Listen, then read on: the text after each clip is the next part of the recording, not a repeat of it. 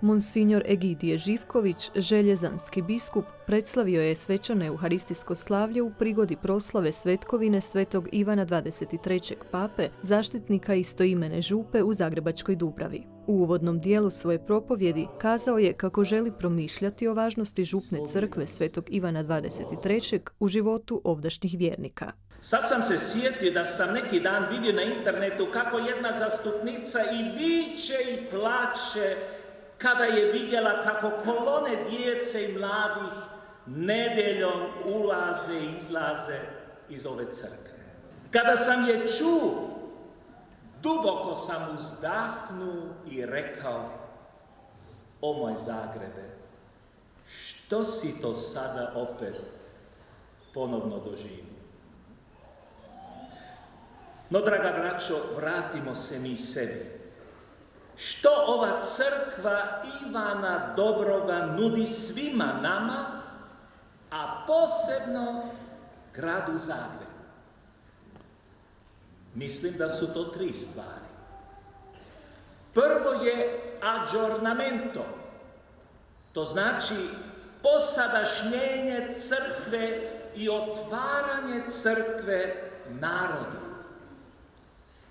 Dobri je htio otvoriti sva vrata crkve, običnome čovjeku, tebi i meni. Draga braćo i sestre, što je to drugo što nam ova crkva poručuje? To je jednostavnost ove crkve u Dubravi i skromnost njezinoga zaštitnika Ivana Dobroga.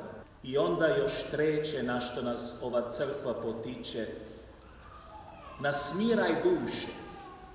A što je to? To je govor o smiraju ove na vaše crkve, koja vjernicima daje nutarnji mir. Mi ulazimo i izlazimo u ovu kuću Božju samo iz jednoga razloga.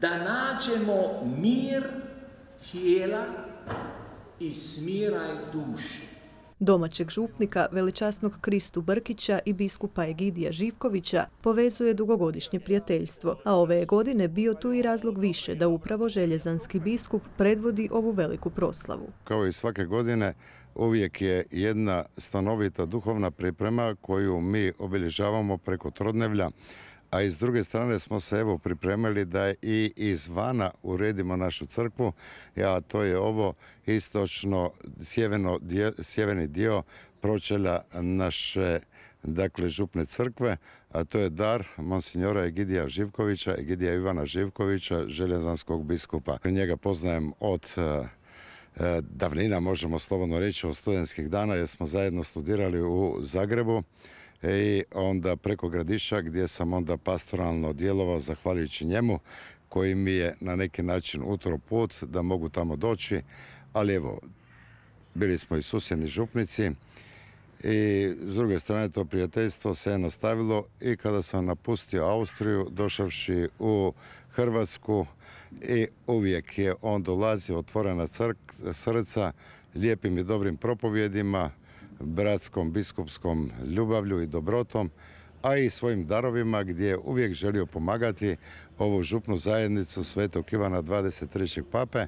Snaga Svetog pape Ivana 23. bila je u njegovoj dobroti. Poticao je ljude na zbližavanje, kako s Bogom, tako i sa svojim bližnjima. Vodeći se tim primjerom, župljani i njihov župnik su po završetku misnog slavlja po običaju organizirali prigodno druženje i zakusku za sve okupljene vjernike.